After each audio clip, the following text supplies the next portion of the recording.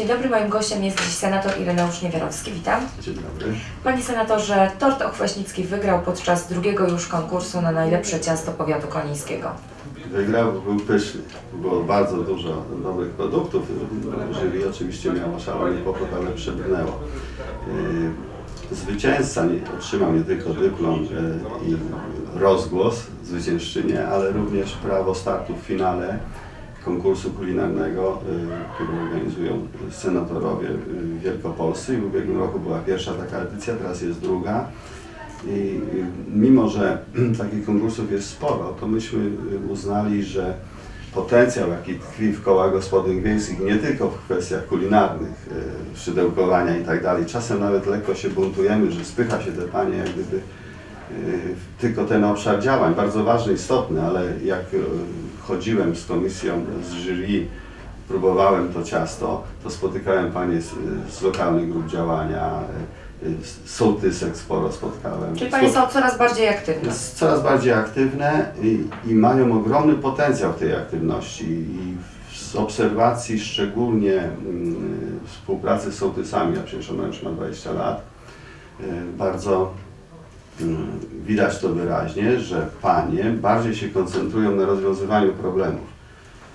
One startują, bo jest jakiś problem i chcą go rozwiązać. Panowie no, często dla samej rywalizacji startują, żeby wygrać z konkurentem. Y, I to jest widoczne i to trzeba jak gdyby y, pozytywnym tym sensie wykorzystać dla, dla dobra wsi w tym przypadku.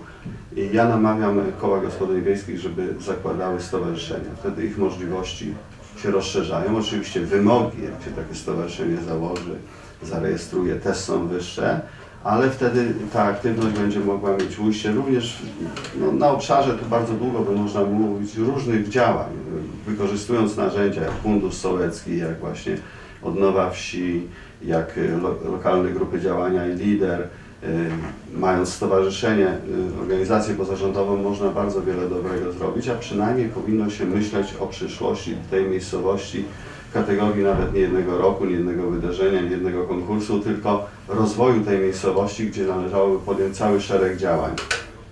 I na pewno takim elementem ważnym w tych planach, w tym rozwoju będzie uruchomienie tego potencjału, które, y, które tkwi na wsi, który jest coraz bardziej widoczny, to jest właśnie aktywność pań. I to nie tylko w kołach gospodyń wiejskich, ale też czy jako sołtyski, jako liderki organizacji y, pozarządowych. Panie senatorze, w ubiegłym tygodniu spotkało się Towarzystwo Samorządowe. Była mowa m.in. o zmianach w ordynacji. Tak, no, mieliśmy walne, y, coroczne sprawozdawcze.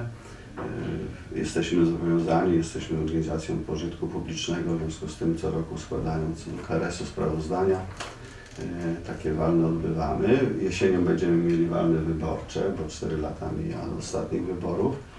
I tradycyjnie, oprócz innych tematów związanych czy z regionem, czy z samym towarzystwem, czy z działaniami, które towarzystwo prowadzi, jak fundusz stypendialny, na przykład jak konkursy y, różne, współpracę z młodzieżą, z dziećmi. Również y, omawialiśmy kwestię ordynacji wyborczej i ponieważ idea, którą towarzystwo popiera, idea również w wyborach parlamentarnych okręgów jednomandatowych, napotyka ogromne opory. Tak naprawdę to tylko Platforma Obywatelska systematycznie popiera tą ideę i nie ma szans na pełne przegłosowanie w Sejmie y, takich rozwiązań. W związku z tym wyszliśmy w takim ograniczonym zakresie z propozycją, że wybory do powiatów odbywały się w okręgach jednomandatowych, samorządowe wybory. Co przyniosłyby te zmiany? Na pewno przybliżają e, przyszłego radnego, a wcześniej kandydata do swojego okręgu. On już się nie chowa za plecy, czy za szyld, lepiej powiedziane, partii, jakiegoś stowarzyszenia, jakiejś organizacji, czy komitetu wyborczego, tylko on reprezentuje siebie, mówi, co chce rozwiązać, a później w związku z tym nie partia, nie jakaś organizacja, tylko on jest rozliczany przez wyborców. To daje bliższe związki, większą aktywność i, i myślę, że to jest y, potrzebne. Czy się uda w parlamencie z kolei to zrealizować? Jeszcze raz chcę podkreślić, Platforma ma w swoim programie i chce takie działania podejmować. Y, Liczymy, że chociaż krok po kroku będziemy przekonywać następnych, czy koalicjanta najpierw, a później może inne ugrupowania, żeby takie przegłosować rozwiązania. Panie senatorze, a już w środę będzie Pan y, rozmawiał o problemach wsi i rolnictwa u prezydenta. Tak, no to jest takie narada e, ekspercka, bo tam będzie niewiele osób, e, około 20. E, I tutaj e, pan prezydent, a dokładniej e, ludzie, którzy realizują ministrowie, minister Motkiewicz, minister Dziekoński, e, zaprosili taką gronę osób, które e, swoimi wypowiedziami, działaniami wyróżniły się w wcześniejszych spotkaniach i dyskusjach. W, Pała- w Pałacu Prezydenckim odbywa się forum debaty publicznej na sześciu obszarach. Tym, jednym z tych obszarów to jest właśnie wieś y, i rolnictwo i takich kilka spotkań było. Ponadto współpracujemy, mówiąc już my, to mówię o Krajowym Stowarzyszeniu Sołtysów i ja osobiście y, z, z kancelarią i również y, na przykład y, nasze spotkania, w tym to ostatnie y, Wiejska Polska w Lichaniu 26 maja było też z uczestnictwem przedstawicieli kancelarii, ministrów, pana prezydenta, no i to zaważyło, widocznie opinia była pozytywna, skoro mam zaproszenie do takiej dyskusji, gdzie będzie się już rozmawiać nie tyle jaki jest stan, bo jaki jest stan to w tych dyskusjach było pokazane dokładnie, tylko co należy czynić, żeby było to z korzyścią y, dla mieszkańców wsi, ale w ogóle dla całego y, społeczeństwa i, i dla kraju generalnie. Jak, y, co robić, żeby na przykład z jednej strony rolnictwo było wydajniejsze, przynosiło większy dochód i podnosiło jakość życia na wsi, ale również dawało dochody z eksportu dla państwa.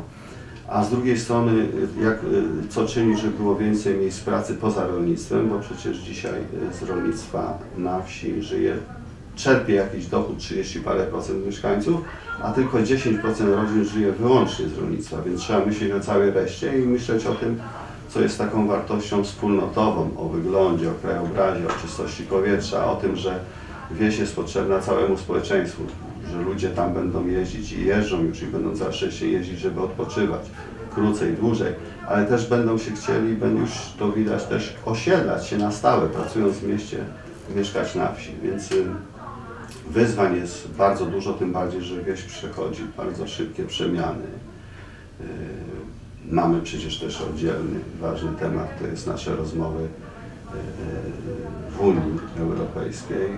Przyszły, przyszłe rozdanie 2014-2020, jakie środki, w jaki sposób wykorzystamy, jak je O tym realizować. także rozmawiamy w Y, Licheniu. Oczywiście i tutaj też będziemy y, o tym rozmawiali, bo mamy też cały szereg, no tu już nie możemy wchodzić w szczegóły, ale cały szereg zastrzeżeń, bo pieniądze same w sobie są bardzo dobre, ale trzeba je mądrze wykorzystać, żeby były kołem zamachowym, a nie tylko wydać y, czasem nie, nie najrozsądniej, bo wtedy no, stracimy ogromną Jednym, szansę. jednym słowem wakacje bardzo pracowite. Tak, no, wakacje w samym Senacie zapowiadają się do połowy sierpnia, a w końcówce sierpnia już jeszcze nie w Senacie, bo tam będą trwały wakacje, ale już się kończą wakacje dla moich organizacji pozarządowych, y, a szczególnie Fundusz Stypendialny w Towarzystwie Samorządowym, bo musimy do końca sierpnia przydzielić stypendia, ogłosić, zacząć wręczać y, z nowym rokiem y, szkolnym.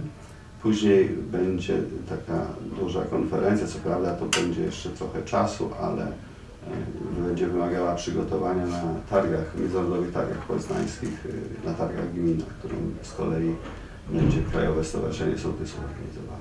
Dziękuję rozmowę. Dziękuję bardzo.